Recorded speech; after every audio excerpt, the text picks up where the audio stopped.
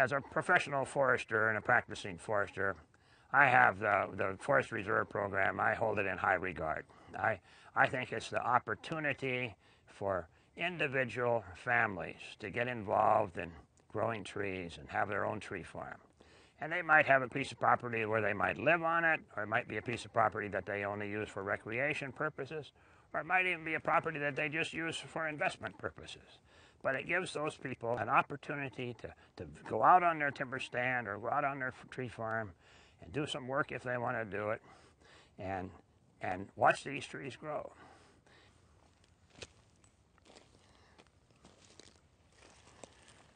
I'm standing here in a, in a plantation that's now about six years old. And uh, it's a plantation of both Douglas fir and western red cedar. It was planted in 2005 with two-year-old trees. It's not through growing this season yet. Some of the trees are as much as seven or eight feet tall, and there's about a 50-50 mix of Douglas fir and cedar both. The trees have to have open sunlight and mineral soil and space to grow. That's what they need. And, and so you have to give them some space to grow. They can't all be competing for the same amount of nutrients in the soil. They can't all be competing for the same amount of sunlight. They have to have an adequate amount of that to grow well. So what you might do in a young plantation like this would be entirely different than what you might do from a management standpoint in an older plantation. If we go back to that 20-year-old stand back there, then the management activities would be entirely different. You would you might prune some of those trees so that in the future you would have knot free wood.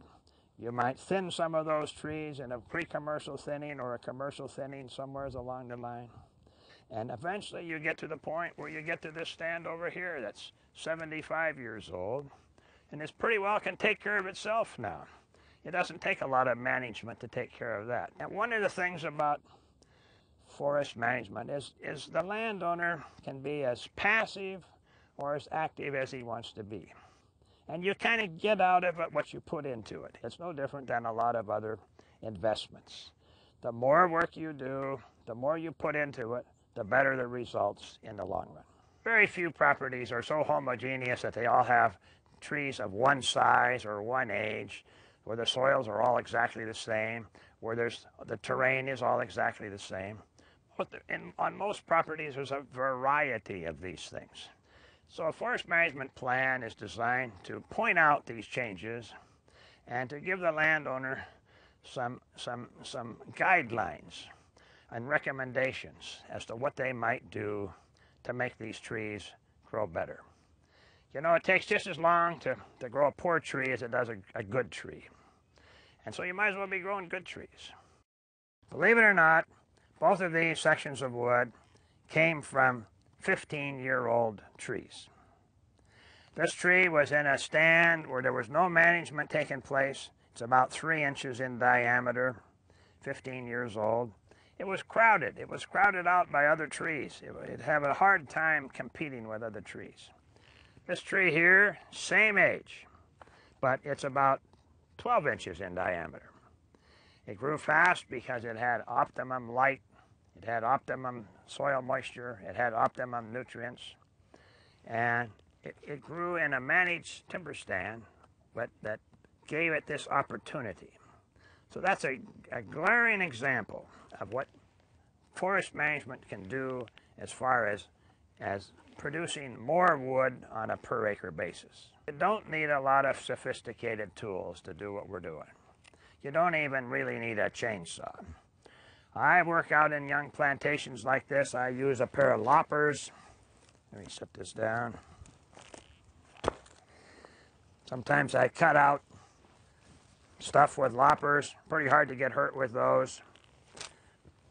I use a machete. Takes a little more experience to use a machete. I wear a pair of gloves a lot. I have an increment bore that I can bore trees with to see how fast they're growing. I have a I have a diameter tape that I use to measure the diameter. It's calibrated to measure the diameter of the tree, not the circumference of the tree. I have an Abney clinometer, which I use to measure heights. It's a simple little tool that you can look in and measure out a certain distance from a tree and look in and measure the height of the tree. You can get all kinds of flagging, different colored flagging. I think they make flagging about every color there is. And that's really about all you need. And uh, oh, I guess the last thing you need is just a little bit of energy to go out and do some work. Take the family out, take the kids out. They'll get used to it, they'll love it. These older trees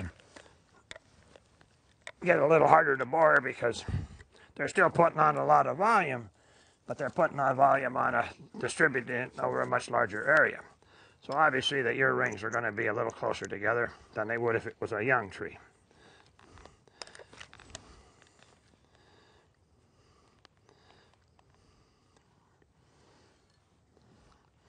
I wet it because I can then see the year rings a lot easier. And you can count each individual year all the way back. In fact, back here we were almost at the center of the tree. I'll pick my diameter tape and we'll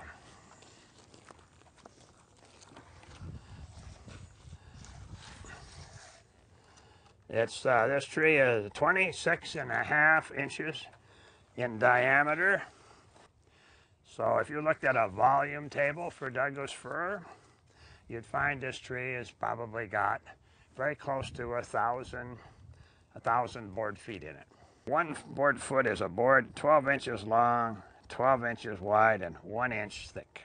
If you see a logging truck go down the road, it's got generally four to 5,000 board feet of wood on the, on the truck. Takes maybe eight to 10,000 board feet of wood cut up in different forms to build a house. So every time you see a tree like that, it'll take about eight to 10 of those trees to, to build a house. Depending on the size of the house, of course, but the average house. The next thing that's going to happen here is there's going to be a harvest here. And when there's a harvest here, it'll generate a considerable amount of income. I would guess that the income could be anywhere from 20 to 15 to 20 thousand dollars per acre to the landowner in a stand like this. Uh, then you would start over. You start planting some more trees. You start the whole process again. It's a continual process. If you if you take care of them, they'll grow well, you know, and they'll grow for the next generation and your grandchildren and their grandchildren, and they'll just keep going forever.